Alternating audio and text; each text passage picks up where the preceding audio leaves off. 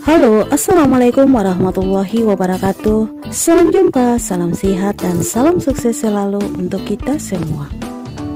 Pemirsa yang beriman Setiap orang pasti menginginkan hidup lebih oke dan berkah dengan rejeki yang selalu lapang dan mudah.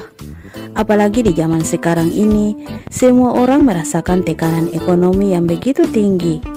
Sedangkan uang itu sifatnya semakin dikejar akan semakin menghindar Kalaupun ada yang sekarang sibuk mengejar uang dan mendapatkannya, kemungkinan besar ia akan kehilangan hal yang lain. Boleh jadi ia akan kehilangan sesuatu yang berarti seperti keluarga, rasa bahagia, harga diri, sahabat, dan lain-lain. Banyak cara yang dianjurkan Rasulullah Shallallahu Alaihi Wasallam untuk mempermudah kita dalam mengais rejeki. Salah satunya amalan sederhana yakni sedekah. Bahkan Rasulullah pernah berseru, carilah rejeki dengan sedekah. Karena sedekah itu penderas rejeki. Dalam hidup ini, siapa yang banyak memberi, maka ia akan banyak menerima. Sedekah ibarat menanam hal yang baik sebelum menuai buahnya. Begitu pula membuka pintu rejeki dengan sedekah agar kebaikan semakin banyak yang datang maka itu kita perlu menanam benih kebaikan. Salah satunya adalah dengan bersedekah. Jadi, pancinglah rezekimu dengan bersedekah. Hal ini sebagaimana seruan Rasulullah Shallallahu Alaihi Wasallam dalam sebuah hadis, turunkanlah atau datangkanlah rejeki dari Allah dengan mengeluarkan sedekah. Hadis riwayat Baihaqi. Sedekah merupakan salah satu cara pembuka pintu rejeki yang luas tanpa harus berpeluh keringat.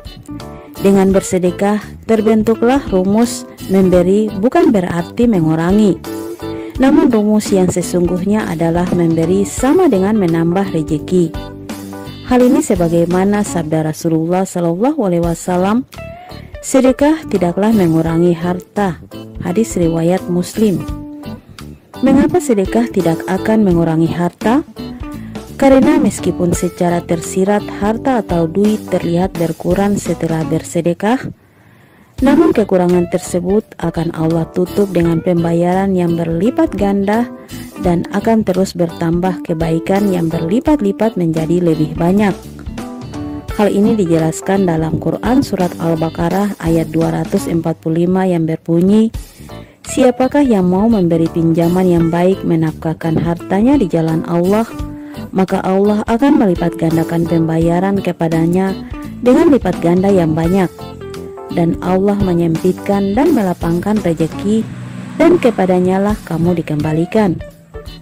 Sedekah juga akan memberikan banyak keistimewaan kepada pelakunya.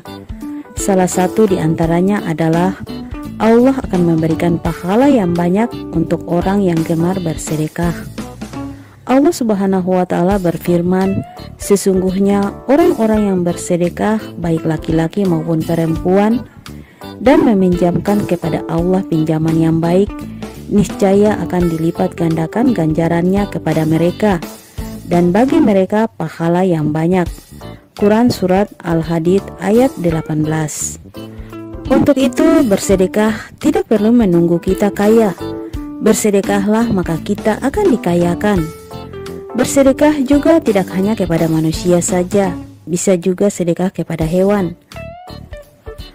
Aktivitas memberi makan kucing merupakan amalan sedekah yang penting dan mudah kita lakukan. Hal ini karena kucing merupakan hewan kesayangan Rasulullah Shallallahu Alaihi Wasallam dan keberadaan kucing banyak dijumpai di lingkungan sekitar kita. Bahkan ada yang sering kali datangi rumah kita hingga menetap. Di saat memberi makan dan minum kepada kucing-kucing itu, secara langsung pasti kita akan merasakan kepuasan batin tersendiri, apalagi melihat mereka makan dengan lahap sampai habis. Di saat kita memberi makan itulah Allah akan membuka pintu rejeki kita dan kebaikan-kebaikan lainnya. Hal ini sebagaimana sabda Rasulullah Shallallahu Alaihi Wasallam pada setiap sedekah kepada makhluk yang memiliki hati atau jantung yang basah atau hidup akan mendapatkan pahala kebaikan. Seorang muslim yang menanam tanaman atau tumbuh-tumbuhan kemudian dimakan oleh burung-burung, manusia dan binatang, maka baginya sebagai sedekah. Hadis riwayat Bukhari dan Muslim. Jadi bersedekah dengan memberi makan dan minum kepada kucing, maka segala kelancaran hidup di dunia dan di akhirat akan kita dapatkan. Janganlah berbuat jahat kepada kucing, karena balasan Allah sangatlah pedih. Oke pemirsa yang budiman, itulah balasan sedekah kepada kucing yang bisa membuat hidup kita lebih oke dan berkah. Semoga bermanfaat dan menginspirasi. Sampai jumpa lagi di episode berikut di channel yang sama.